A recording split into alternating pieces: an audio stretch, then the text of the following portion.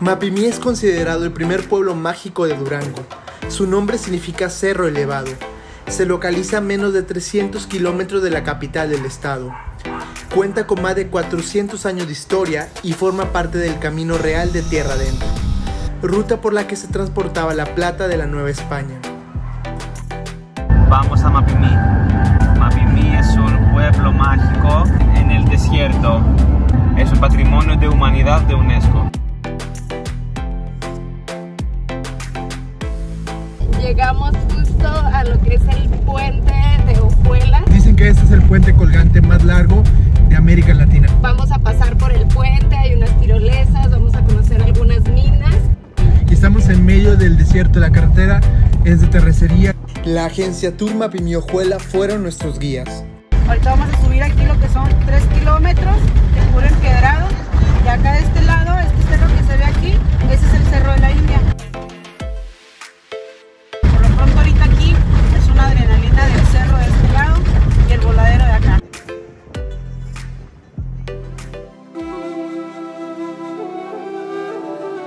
¿Por qué hay que visitar este lugar? Porque tienen que conocer este lugar maravilloso que se llama Puente de Ojuela. Está muy fácil de llegar de la ciudad de Durango, que aproximadamente se hacen 4 horas nada más. Uf, para mí este lugar es mágico, más que nada es una tranquilidad que si tú escuchas al caminar, escuchas el rugir de la madera. Y que cuando llegan aquí a, a este lugar, al puente Ojuela, llegan y se olvidan completamente de todo. Y a mí me ha tocado ¿eh? que he tenido un poquito de problemas allá en, en mi casa, que es su casa, o, o en la rutina de trabajo. Y ya llegas aquí y realmente llegas olvidándote de todo lo que pasa en el, a tu exterior. Oiga, leí que este puente data del siglo XIX Así es. y bueno, fue construido por motivo de minero y es único en América Latina. Mira, el puente ahorita tiene aproximadamente unos 100 años. ¿Cuál es la altura del puente? La altura del puente es de 100 metros. Mide 315 metros, lo que es el camino desde donde empiezas hasta donde vamos a terminar ahorita. Este puente lo hicieron para trasladar el mineral que sacaban de la mina Santa Rita, que ahorita vamos a hacer un recorrido. ¿Qué extraían en esta zona? Bueno, en esta mina es la única mina polimetálica aquí en México. Sacaban siete minerales diferentes, que era oro, plata, plomo, zinc, manganeso, cobre y aluminio. Nuestro lugar aquí es este semidesierto, la verdad. Tenemos pues animales, ahorita si te diste cuenta que te dije que había un coyote por ahí, este, que no lo alcanzaron a ver, yo sí. Pues está el coyote, la, la ardilla, que nosotros le decimos tachalote, la víbora de cascabel, la águila, que por aquí también está un nido de águila. Y aquí salen, salen dos aguilitas aquí, aquí de este lado, aquí ando. Esa mina es la mina de Ojuela. Aquí se ve.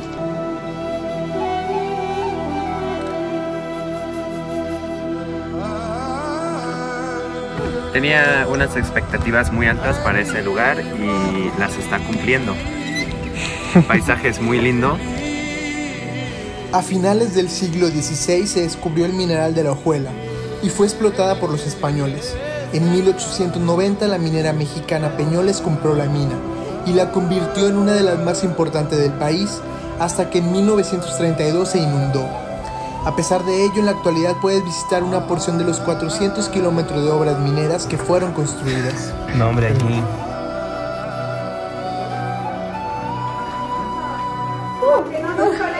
Mi primera vez en Mapimí.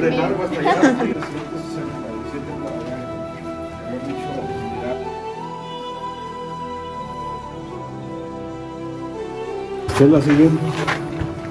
¿De dónde los lleva? Aquí a esto. Es donde está el mineral. ¿Cómo vas, ¡Hola, Jorge! Venimos topando. Hay que tener cuidado con la cabeza. Está impresionantes estos túneles. Dicen que en total son más de 450 kilómetros de, de túneles. Desde el puente donde entramos hasta este mirador son 800 metros bajo la tierra. Es una aventura. Ya hemos salido de los túneles de la mina y tenemos un escenario desértico.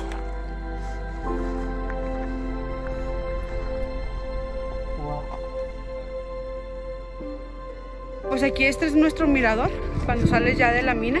Se mira todo lo que es el puente aquí, 315 metros, y es una vista espectacular. Pero mira, ya ves todo el mirador, todo esto, lo que es el bolsón de Mapimí. Es una vista hermosa, la verdad. Y más con este clima porque está chispeando. Hace millones de años todo esto aquí alrededor estuvo sumergido en, en agua. Fue Coahuila, Chihuahua, Durango, Nuevo León, Zacatecas, Tamaulipas, Sonora, Baja California. La comprensión de la Tierra, la placa Sierra Madre Occidental y Oriental se llevan. Y forman una cuenca, donde que es el bolsón de Mapimí. Con los millones de años agua se evaporó, entonces queda esto. Lo más profundo del bolsón de Mapimí. Aquel cerrito que miras allá, aquel último cerro, es la zona del silencio. El cuadrante del paralelo 27 del, del, del globo terráqueo ahí. Y porque ahí este, forma como un cono el del electromagnetismo. En esa parte, bueno, se dice que no hay señales de radio. Otra parte de, de aquí de la historia de Mapimí es que atrás de estos cerros pasa un camino viejo, un camino antiguo de comercio que era México Santa Fe. El camino real tierra adentro, camino de la plata. Tenemos ahí la, la planta del sotol. Ahí la clave es que el almidón del piñón es dulce y cocido fermentado produce alcohol, ahí trae azúcares. Me gusta que la piedra brilla en varios lugares.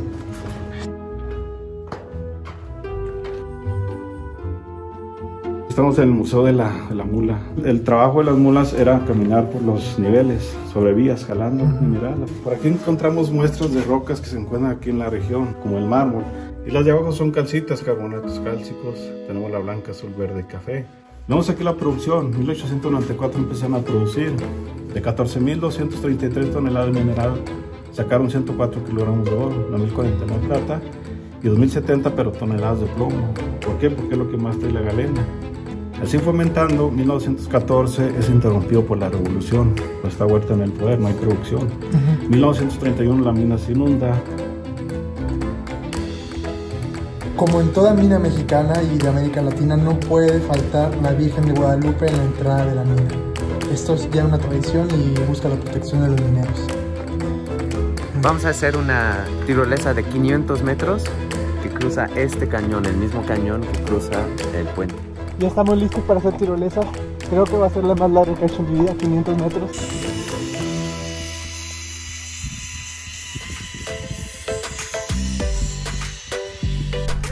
se desmaya, va a llegar.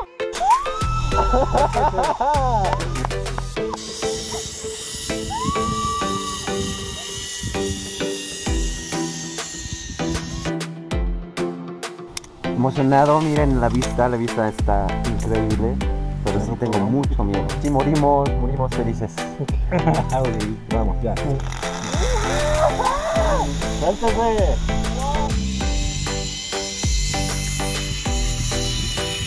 ¿Cuántos años tiene trabajando aquí? 12 años aquí ya. ¿Ya ha habido algún accidente en estos dos años? No, no, no, no. Hay gente aquí capacitada. ¡Qué miedo! ¡Vean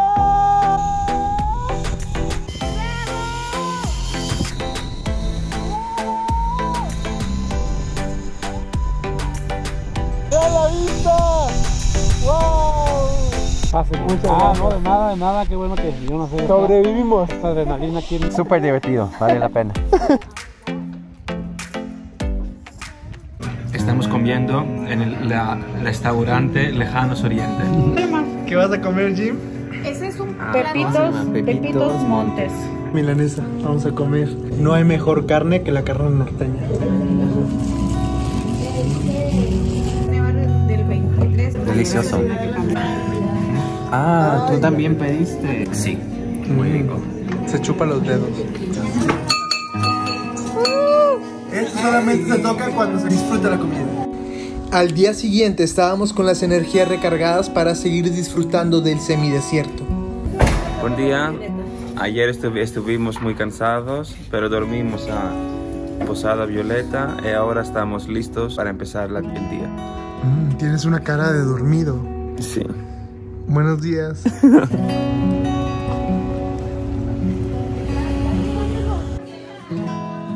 El menudo es un caldo de la panza de la vaca con maíz. Se le pone cebolla, limón y orégano. Y con pan, con pan eh, y mantequilla. Y aunque soy de Durango, nunca había visitado esta zona. Y la verdad está muy padre porque las montañas, la vegetación, todo es súper diferente a lo que yo estoy acostumbrada, que es la sierra.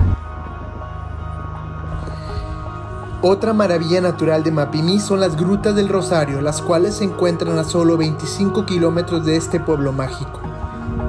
Estamos a punto de subir más de 200 escalones aquí en las grutas del Rosario. Es que no quería subir acá al griego, pero los va a tener que subir. Vamos a subir los griegos, ¿listo? Sí.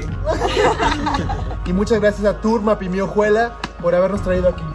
Gracias a ustedes por acompañarnos y los esperamos muy pronto aquí en Grutas del Rosario, en el estado de Durango. Ay, sí está, sí está cansado, la verdad.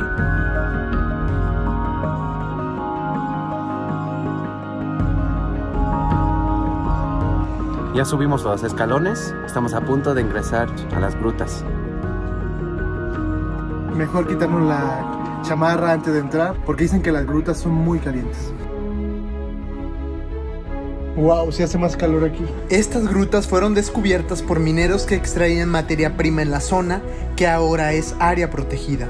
La estalactita viene siendo la que cuelga de arriba hacia abajo. Y la estalagmita, por ejemplo, está esta, que es la que va de abajo hacia arriba. Cuando cae la gota de, de la estalactita, le cae aquí arriba. Y como los minerales pues se van haciendo sólidos con el tiempo, pues se va, va creciendo la piedra. En esta gruta no la, no la han explotado mucho porque se cuidó porque es natural. De hecho, las figuras que hay pues se hacen solo con el agua. Nadie las mueve y pues es lo que les voy a encargar, no, no quebrar las piedras. Por ejemplo, ahí tenemos una que viene siendo para nosotros un panal de avispas, porque realmente las avispas las hacen en sus panales. Está así como petrificado. Y esto de aquí viene siendo así como el espinazo. Aquí tenemos el bosque. Nosotros le llamamos a eso de ahí el bosque porque aquí arriba tenemos la copa de los árboles y abajo tenemos lo que viene siendo su tallo. Eh, aquí tenemos un pastel de bodas, ese que está ahí de color azul. Se le nombra así porque pues está hecho en capas. La verdad esto está impresionante, cómo estamos dentro de- del cerro, que por fuera se ve la inmensidad y ya al estar adentro sí está impresionante. Estamos en el corazón de la montaña. Aquí tenemos lo que viene siendo el respiradero de la gruta, que es la razón por la cual nosotros tenemos oxígeno. Ese viene siendo así como un túnel que se conecta con otro allá afuera. Por eso no nos falta el aire aquí, por eso podemos respirar en esta cueva, gracias al oxígeno que nos brinda ese, ese gran agujero. Y el agua nada más se mira que va escurriendo a simple vista, pero los minerales se van haciendo sólidos poco a poco. Por ejemplo, aquí tenemos algunas rayas que, que así empiezan, pequeñitas, pequeñitas, con el tiempo van haciéndose más gruesas.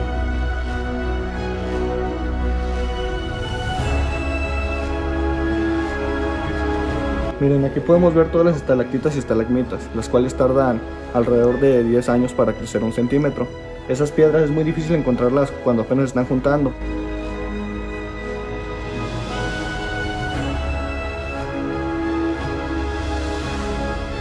Ya estamos en el fondo de las grutas del Rosario, avanzamos 500 metros y fue impresionante andar entre, entre la naturaleza de esta cueva. Tienen que venir a este lugar. Es, en Durango tenemos una diversidad de climas, de paisajes y pues aquí vean las montañas tan impresionantes. Vamos a hacer otras dos tirolesas. La primera mide 450 metros y es un circuito porque tenemos que bajar, otra de 350 metros. Por fin el griego se va a animar a aventarse la tirolesa y a sacar su adrenalina. ¿Ha habido algún accidente alguna vez? No, pues si se cae uno se las dejo gratis a los demás. Está nervioso. ¡Wow, Diego!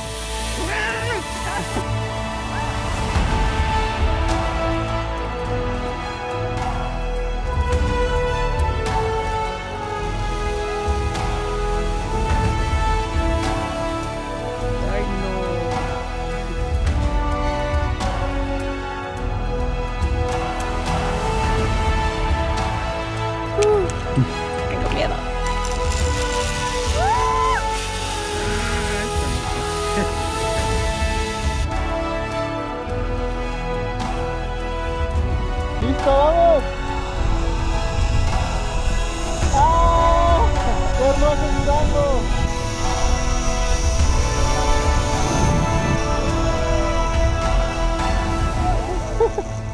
Llegamos, sobrevivimos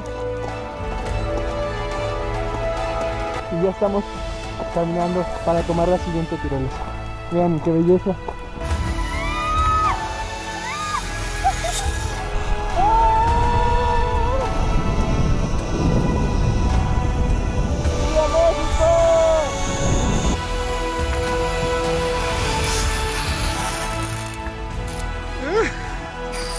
Encantan las vistas.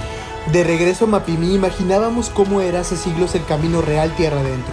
Pasaba por aquí y servía para transportar la plata extraída de las minas de Zacatecas y Guanajuato, conectando Santa Fe en el norte de la Nueva España, ahora Estados Unidos, con Ciudad de México. Visitamos el Museo Miguel Hidalgo, en donde el tiempo se detiene y podemos hacer un viaje al pasado, para aprender que Wilhelm Hildebrand, alemán que trabajó en la construcción del puente de Brooklyn, fue quien construyó el puente de Ojuela en Mapimí. El puente pesa más de 112 toneladas y tiene más de 100 años de antigüedad. Aquí fue donde se quedó Benito Juárez durante tres días cuando estuvo la intervención francesa. Sabemos que él estuvo con un gobierno itinerante por diferentes regiones del país en el año de 1864. Juárez y su gobierno itinerante se quedaron en Mapimí durante la intervención francesa. Napoleón III buscaba construir un imperio en México. Bueno, ya saben, una visita obligada para cuando vengan a Mapimí es visitar el Museo Casa Benito Juárez, el cual se encuentra en la plaza, en el centro. Mapimí era blanco de ataques por los indígenas indómitos del desierto. En un jueves santo de 1715 se efectuaba la procesión que llevaba la imagen conocida como el Señor de Mapimí, el cual era la devoción de los mineros. Un grupo de indígenas buscaba destruir la imagen, pero la lograron resguardar en la parroquia de Cuencamé. Bueno, esta es la iglesia de Santiago Apóstol, que es el apóstol de aquí de Mapimí. Es muy interesante porque solamente tiene una torre.